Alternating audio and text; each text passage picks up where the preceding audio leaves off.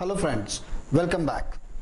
Now we are going to solve exercise 6.6. I said we are going to solve but actually we are going to just discuss. First, the curved surface area of the cone is 4070 centimeter square and its diameter is 70. What is the slant height? Diameter is given, curved surface area is given and diameter is given. You have to find out the slant height. Remember diameter is given not radius. So radius will be half of the diameter.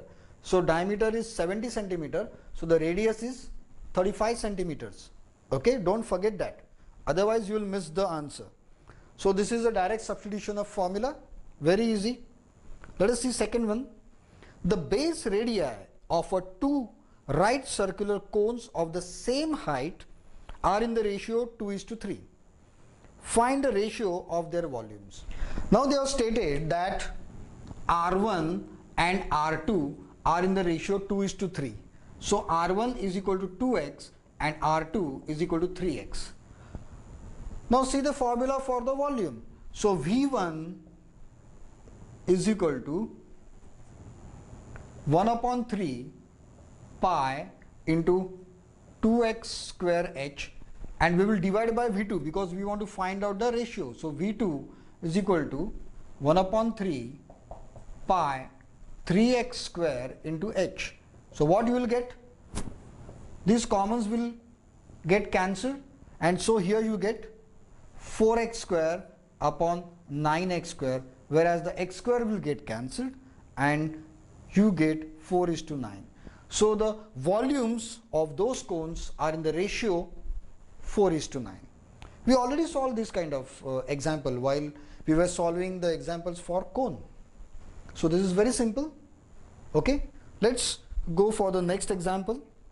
The third example is a cone of a height 24 centimeter. Third example, height is 24 centimeter has a plane base of surface area 154 centimeter square. The base surface area, area of base is 154 centimeter square. Find its volume. What is the formula for volume? 1 upon 3 pi r square h. Now in this case h is given and area of base is given. Area of base means this area of base is nothing but pi r square. So this is equal to pi r square. You can directly substitute this pi r square with this pi r square that is 154. So you have 1 upon 3 into 154 into 24 volume. Please pause your video and solve this example. The answer is 1232 centimeter cube. Please check your answer. Fourth example, the curved surface area. The curved surface area of a cone with the base radius 40 centimeter, radius is 40 centimeter, is 1640 pi, 1640 pi centimeter square. Find the height of the cone. Find height of the cone. Now they are given the curved surface area that is pi r l. So from this you will get the L. L you can easily find out. Now substituting L and this R in this formula you can find out the height of the cone very easily. So please pause your video here and solve this example. Height of the cone is 9 centimeter and slant height you might have got 41 centimeters. Let us go for the fifth and last example of 6.6.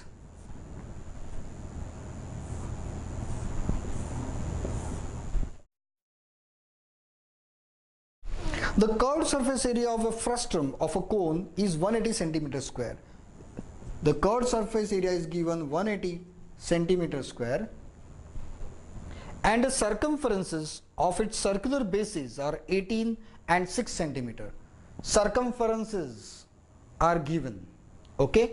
From the circumference you have to find out the radius. you are given circumferences that is